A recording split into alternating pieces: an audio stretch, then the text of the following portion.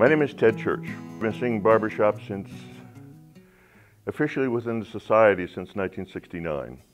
Back in the uh, late 50s, early 60s, there was um, a chapter in Woodstock, Ontario, where I was born and raised.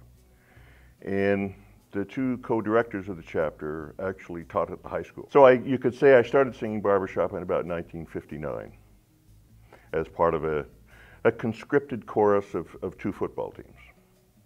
My wife was a teacher and she was home during the summer and the local representative for London Life stopped into the house to service the, call, uh, service the policies. And it happened to be Len Clement. And the final question that he asked my wife before he left was, oh, by the way, does your husband sing? And my wife said, yes. And Len said, fine, tell him I'll pick him up at quarter to eight Monday night.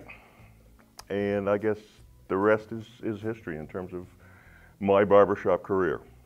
It has enriched my life a whole lot.